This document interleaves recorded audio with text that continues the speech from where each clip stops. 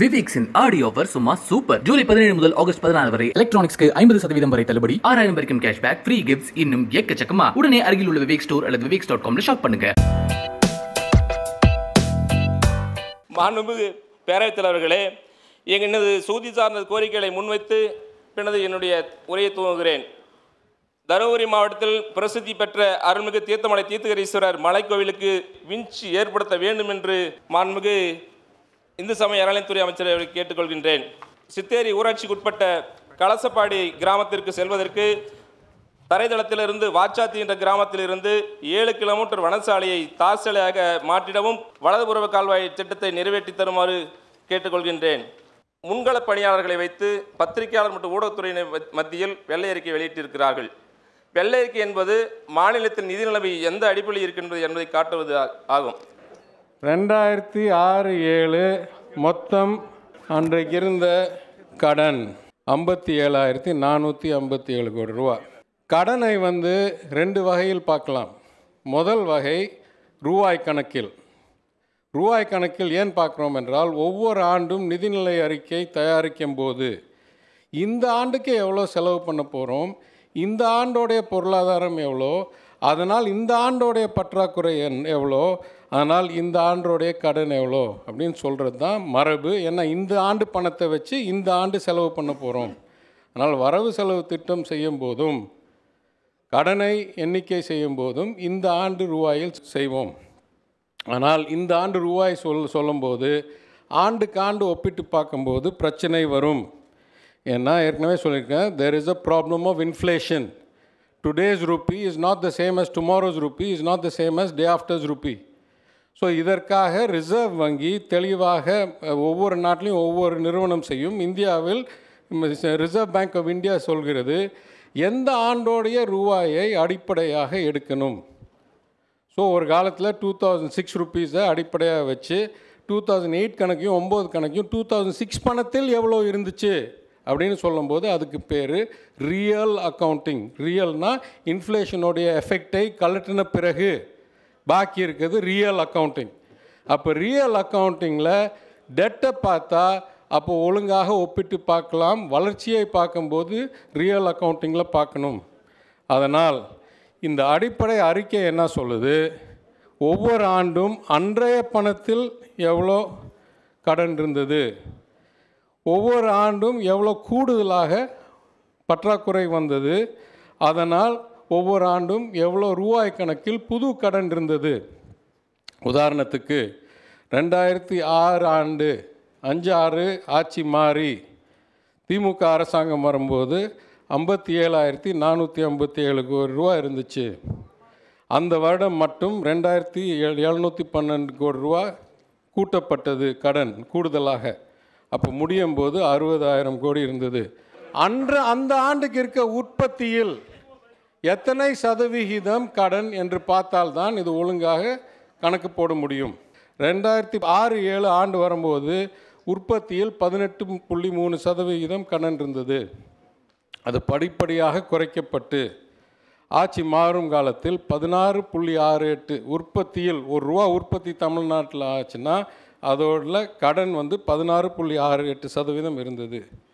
அது நான் ஏற்கனவே கூறினது போல் முன்னாள் முதலமைச்சர் இருந்த வரைக்கும் இன்னும் சிறப்பாகவே இருந்தது ரெண்டாயிரத்தி பதினாலு வரைக்கும். அது பதினாறு புள்ளி ஆறு எட்டுலேருந்து குறைஞ்சி பதிமூணு புள்ளி மூணு ஆறு பதி பதினஞ்சு புள்ளி அஞ்சு அஞ்சு பதினஞ்சு புள்ளி தொண்ணூற்றி ஒன்று குறைஞ்சிது.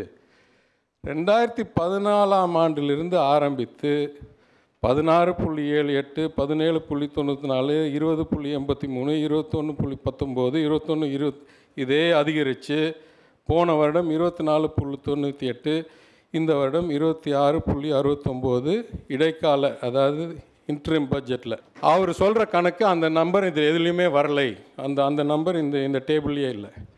அடுத்தாப்புல நான் சொன்ன தெளிவான கருத்து. பத்து வருஷத்தில் ஒவ்வொரு ஆண்டோடைய பற்றாக்குறையை கூட்டி பார்த்தால் the sum of the fiscal deficit is greater than the difference in the debt அதாவது பொது கடன் ரெண்டாயிரத்தி பதினொன்று முடியும் போது என்ன இருந்ததோ? ரெண்டாயிரத்தி இருபத்தொன்று முடியும் போது என்ன இருந்ததோ? அது வித்தியாசத்தை எடுத்தால் அந்த வித்தியாசம் மொத்த பற்றாக்குறையோட கிட்டத்தட்ட நாற்பதாயிரம் கோடி ரூபாய் கம்மியாக இருந்தது. அப்போ பணம் காத்துலேருந்து வராது. பற்றாக்குறையை எங்கேருந்தோ ஃபைனான்ஸ் பண்ணிருக்கணும். You must have finance this debt from somewhere where did this money come from இதுதான் நாங்கள் வெளியே இருக்கும்போது கேட்டுட்டு இருந்தோம். ஒன்று ரெண்டாவது ஏற்கனவே பொது நிறுவனங்களுடைய சூழ்நிலை என்னவென்று எங்களுக்கு தெளிவாக தெரியவில்லை. ஏன்னா அதெல்லாம் those are the debts of the government இன்றைக்கு கூட தெளிவாக சொல்லியிருக்கோம் நிதிநிலை அறிக்கையில். மூணு சதவீதம் இல்லை நாலு சதவீதம் அந்தந்த ஆண்டுக்கு ஃபைனான்ஸ் கமிஷன் கொடுத்த லிமிட்டை தாண்டணும் என்றால் பொது நிறுவனங்களை சீர்திருத்தினால்தான் அந்த கடனை எடுக்க முடியும். மூணாவது பிரச்சனை.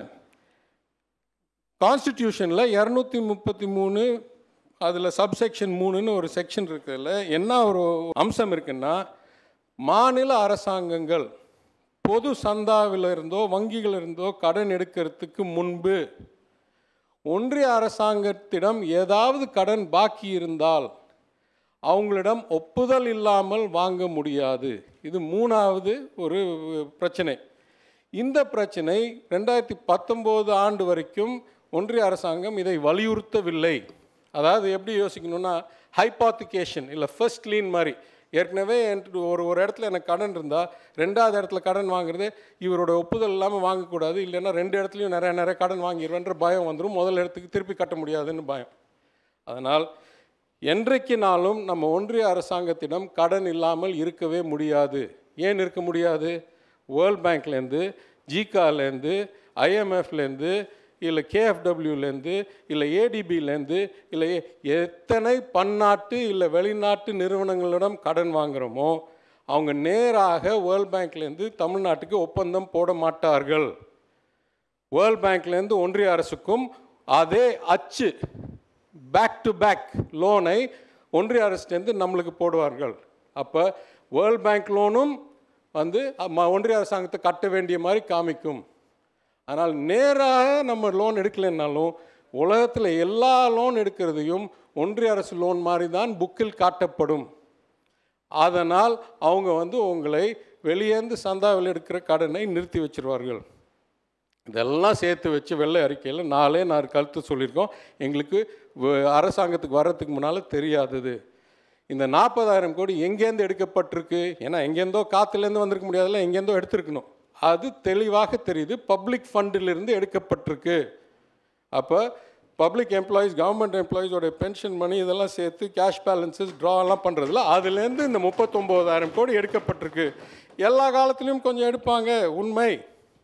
ஆனால் ரெண்டாயிரத்தி ஆறுலேருந்து பதினொன்றுக்கு மொத்தம் சில மூவாயிரம் நாலாயிரம் கோடின்னு எடுத்து திருப்பி பெறப்பட்டது. ப ஆறு ப- பதினொன்றுலேருந்து பதினாறுக்கு பதினேழாயிரம். அப்போ அன்றைக்கு உற்பத்தியில் இல்லை அன்றைக்கு கடனில் இதே ஒம்போதரை சதவீதம். ஆனால் கடைசி ஐந்து வருடத்தில் பன்னெண்டரை பன்னெண்டே முக்கால் சதவிகிதம் முப்பத்தி ஒம்போதாயிரத்து சொச்சம் கோடி நான் காணாமல் போச்சுன்னு சொன்ன கணக்கு அங்கே தெரியுது. இது கணக்கு கணக்கு தான். அது நான் சொன்னாலும் உண்மை தான் வேறு யார் சொன்னாலும் உண்மை தான் கணக்கு கணக்கு தான். இது ஒரு புது தகவல். ரெண்டாவது தகவல் இந்த ஒன்றிய அரசாங்கம் இந்த பாரோயிங் லிமிட்டை என்ஃபோர்ஸ் பண்ணதுனால் வலுக்கட்டாயப்படுத்தினதுனால் இந்த மாதிரி ஒளிஞ்சு எடுக்க தேவை வந்துருச்சு. இது புதுவாக புதுசாக கண்டுபிடிக்கப்பட்டது. மூணாவது ஈபியில் இருக்கிற சூழ்நிலையும் பல போக்குவரத்து கழகங்களில் இருக்கிற சூழ்நிலை இவ்வளோ மோசமாகி விட்டதனால் அரசாங்கத்தோடைய கேரண்டி அதாவது நாங்கள் கையெழுத்து போடலைன்னா அந்த கடன் வராது என்ற அளவுக்கு நம்ம வந்து அது போட்டிருக்கோம். அதோடைய அர்த்தம் என்ன? ஒரு லட்சம் கோடிக்கு நீங்கள் கேரண்டி போட்டிங்கன்னா யாராவது உங்களுக்கு கடன் கொடுக்குறவங்க there is called a contingent liability risk என்னைக்காவது ஒரு நாள் அந்த கேரண்டியை நீங்கள் திருப்பி கொடுக்க வேண்டிய சூழ்நிலை வரலாம். அவ்வளோ மோசமாக இருக்கிறதுனால தானே கேரண்டி கேட்குறாங்க அவங்க தனிப்பட்ட முறையில் கடன் வாங்கி திருப்பி செலுத்துகிற அளவில் இருந்தால் நம்ம ஏன் கேரண்டி கொடுக்கணும்? அதனால் ஒரு காலத்தில் கேரண்டியே இல்லாதது இல்லை ரொம்ப குறுகிய கேரண்டி இருந்தது. இப்போ கிட்டத்தட்ட ஒரு லட்சம் கோடிக்கு கேரண்டி கொடுத்துருக்குறோம். தட் கேரண்டி எஃபெக்ட்ஸ் நான் வந்து சந்தாவில் பணியாற்றினவன் நியூயார்க்கில் சிங்கப்பூரில் உலக அளவில். So I understand credit markets if you say that your debt is only six lakhs or seven lakhs but you have guarantees written implicit guarantees of two three lakh crores plus explicit கையெழுத்து போட்டு கட்டுறேன்னு சொன்ன one lakh crore இருந்தால் it limits your borrowing ability it increases your credit cost இதெல்லாம் அரசாங்கத்துக்குள்ளே வந்த பிறகு தான் தெரியுதே தவிர இதெல்லாம் வெளியே எம்எல்ஏ கொடுக்குற தகவலில் தெரியவில்லை. தெளிவாக சொல்கிறேன் வேறு யாரும் விளக்கம் கேட்கணும்னா இன்னும் தெளிவாக நான் சொல்ல முயற்சி செய்கிறேன். நீங்கள் எத்தனை வாக்குறுதிகளை நிறைவேற்றாமல் உங்கள் ஆட்சியே முடிஞ்சு போச்சு? நாங்கள் வந்து நூறு நாள் தான் ஆயிருக்கு. நூறு நாள் வந்த பிறகு எத்தனையோ நிறைவேற்றிட்டோம். இன்னும் பாக்கியும் நிறைவேற்றுவோம்னு வெள்ளை அறிக்கையிலையும் எழுதியிருக்கேன். நிதிநிலை அறிக்கையிலையும் எழுதியிருக்கேன். முதலமைச்சரும் வாயிலாக சொல்லிட்டாரு.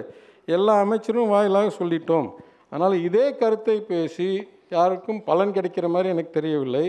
புது கருத்து ஏதாவது இருந்தால் ஆக்கப்பூர்வமான கருத்து எங்களுக்கு பயனளிக்கிற அளவு கருத்து இருந்தால் அமைத மாண்பு உறுப்பினர் கொடுக்குமாறு நான் கேட்டுக்கொள்கிறேன்.